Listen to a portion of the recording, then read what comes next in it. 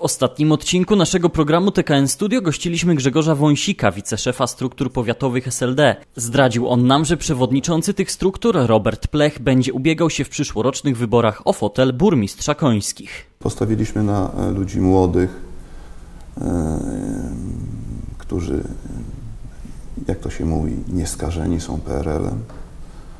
I naturalnym naszym kandydatem jest mm, kolega Robert. Robert Plech. Robert Plech. Mhm. Robert Plech, człowiek młody, ale już doświadczony w samorządzie, wie co w trawie piszczy, ma odpowiednie predyspozycje, wykształcenie, jest przedsiębiorcą, jest ambitnym, aktywnym.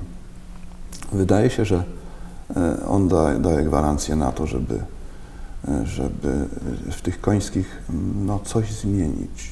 W sumie chodzi nam w tych wyborach, żeby wybrać taką ekipę, takiego włodarza, który, e, który y, pociągnie i zmieni coś dla tych mieszkańców. To jest decyzja ostateczna i oficjalna. Tak, tak. Możemy już dzisiaj powiedzieć, że to będzie nasz kandydat na burmistrza miasta i gminy Końskie. Tym samym Robert Plech jest pierwszym oficjalnym kandydatem na burmistrza Końskich. Plech to przedsiębiorca z wyższym wykształceniem, ma 42 lata, żonę Monikę i trzech synów, Antosia, Aleksandra i Ignacego. Mieszka w Końskich.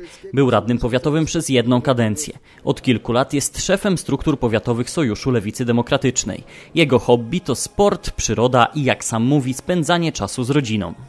W naszym sondażu przedwyborczym z czerwca Robert Plech zajął drugie miejsce z poparciem na poziomie 13,6 punktu procentowego.